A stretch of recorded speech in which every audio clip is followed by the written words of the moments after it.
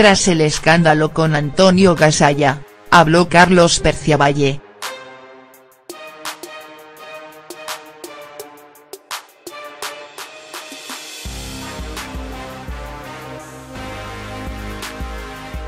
Luego de sus polémicas declaraciones sobre la salud del capo cómico, el artista atendió y se refirió a sus picantes dichos.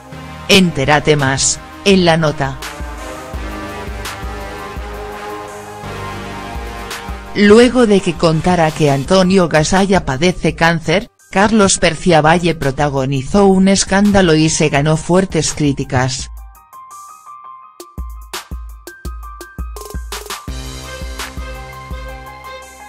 Los artistas mantenían una amistad, pero se rompió en el momento en que Perciavalle abrió la boca y reveló detalles de la salud del capo cómico.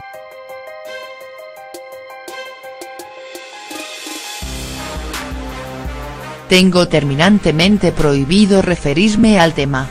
Cualquier referencia a esta cuestión, les pido por favor que se comuniquen con el doctor, Fernando, Burlando.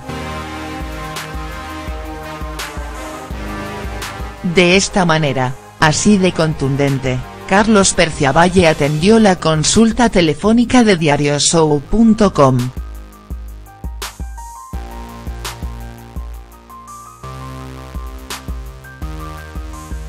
Carlos, ¿pensaste que tus dichos iban a generar tanto impacto?.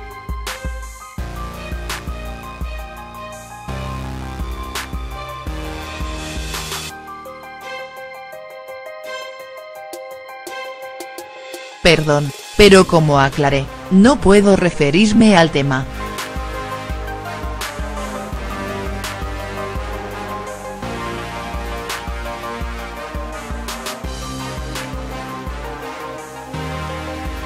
Signo de interrogación abierta La relación de amistad de toda una vida con Antonio Gasalla sigue firme?.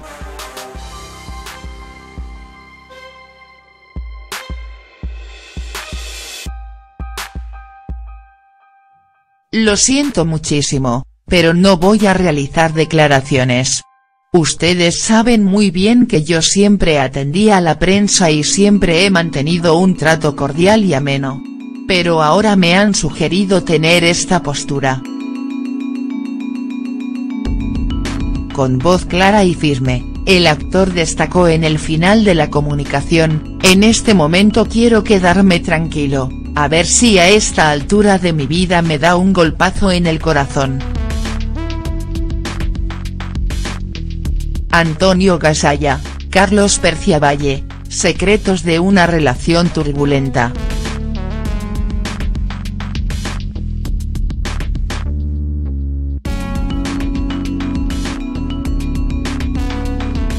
Las declaraciones del artista uruguayo sobre la salud de su colega reavivaron las diferencias entre ellos.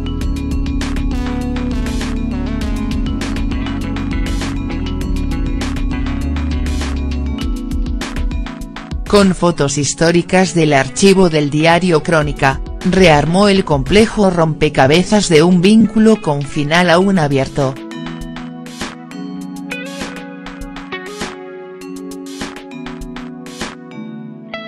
Inesperadamente, Carlos Perciavalle reapareció en la televisión argentina y disparó sobre Antonio Gasalla.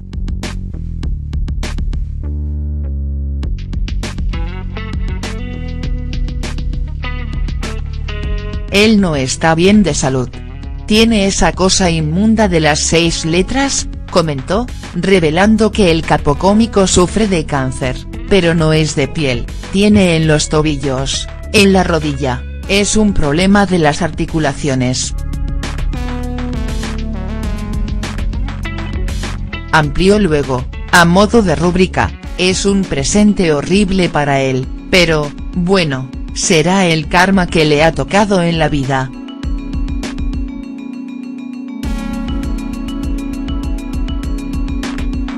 Tales declaraciones generaron un escándalo, máxime si se tiene en cuenta que ambos formaron una dupla artística legendaria. A todo esto, su ex amigo y ex socio se limitó a responder, que diga lo que quiera.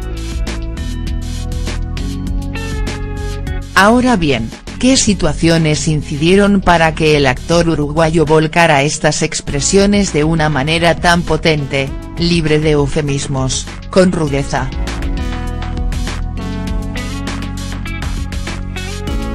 Existen desde lo personal cuentas pendientes, celos y odios que ambos protagonistas tratan de exorcizar en esta etapa de sus vidas,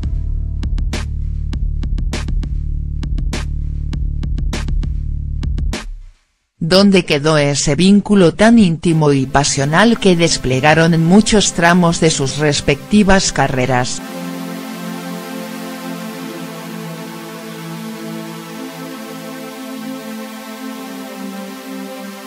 Intentó rearmar el complejo rompecabezas de una relación con final aún abierto.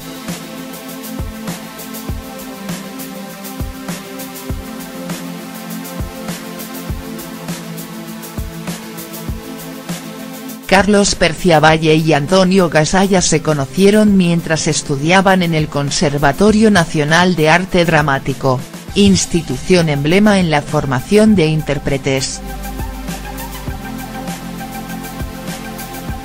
Luego, ambos se convocaron en un destartalado conventillo que se encontraba ubicado frente al entonces Ital Park y así fundaron la historia del café concert argentino con aquel espectáculo que abrió caminos.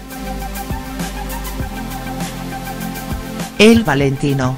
Dicho episodio sucedió a finales de los años 60 y el dúo estaba acompañado de Edda Díaz y Nora Blay.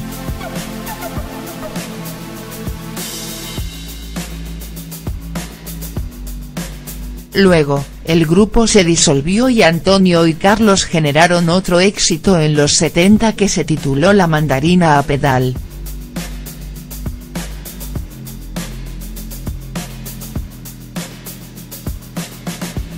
Después se dieron cita a otras inolvidables producciones, como Yo no, ¿y usted?, que fue llevada a una placa discográfica por el sello Trova, y años después, Gasalla y Perciavalle en Broadway. Las carreras de ambos prosiguieron, después, por caminos diferentes.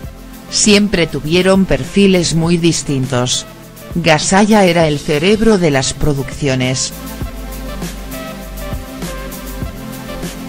Por él pasaban todas las áreas de la creación artística. Su performance en el escenario era más introvertida que la de su gran amigo. En cambio, Perciavalle era un aluvión de expresiones interpretativas. Fuentes allegadas a estas figuras dieron el siguiente testimonio, había una situación que molestaba particularmente a Gasalla, y se daba cita en el final de cada una de las funciones de la mandarina a pedal. Perciavalle tenía como costumbre alargar el último monólogo y lo finalizaba a las 4 de la madrugada.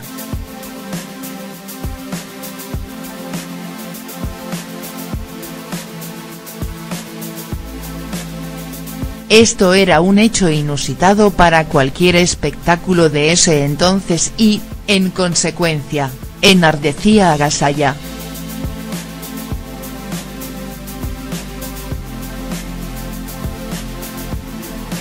Lo cierto es que, allá por 1974, al finalizar ese espectáculo, se separaron y los rumores de pelea ya circulaban.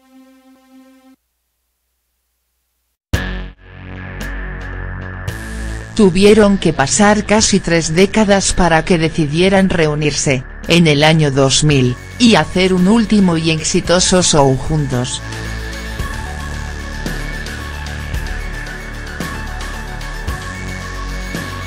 Un veterano periodista especializado en la cobertura de los espectáculos de Café Concert le dijo a este medio.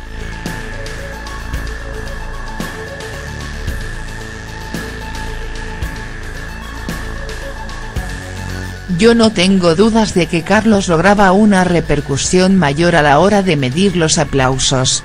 El público apreciaba a Casalla, pero disfrutaba más de un tipo de las características de Perciavalle.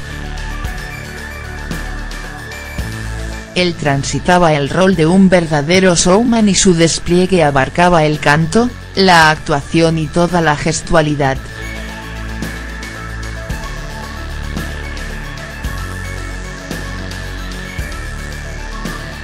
En cambio, el verdadero perfil de Gasalla tenía que ver más con la puesta en escena del espectáculo.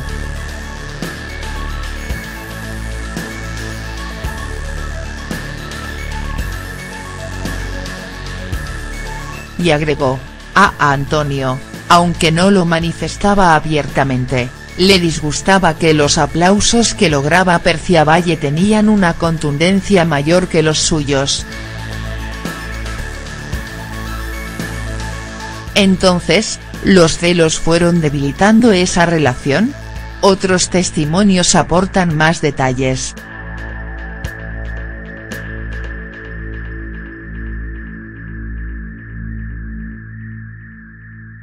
Antonio siempre se caracterizó por ser un tipo muy seguro que dominaba todo el abanico de la creación artística.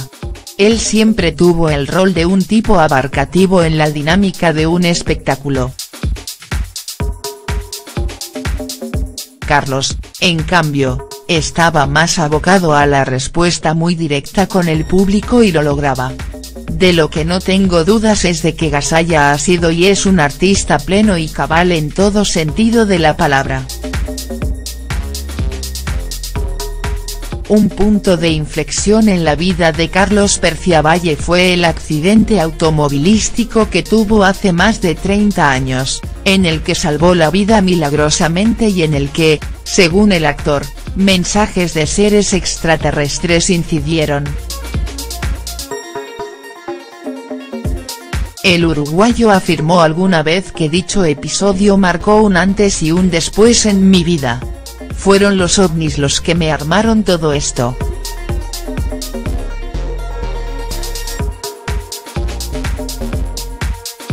Esta circunstancia, según también confesó, ayudó a que dejara de consumir drogas, flagelo que lo había azotado durante gran parte de su vida.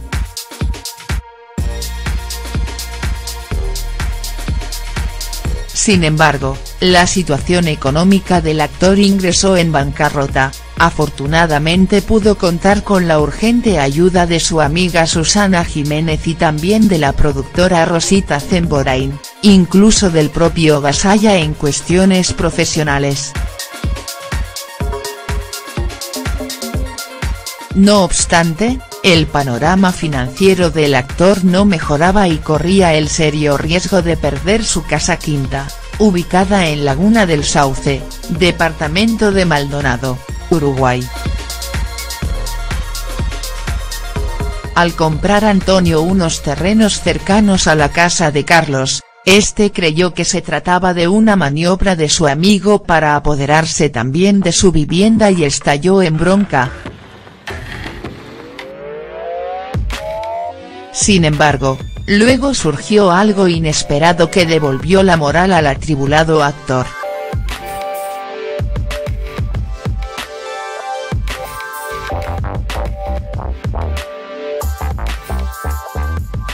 El expresidente Carlos Menem se habría encargado de pagar la hipoteca de su casa de Laguna del Sauce y de esta manera pudo conservar de manera definitiva su tan querido refugio. En tanto, a medida que pasaba el tiempo, la relación entre Gasalla y Perciavalle no continuaba en buenos términos y aquella lejana historia de fuerte amistad empezó a transitar.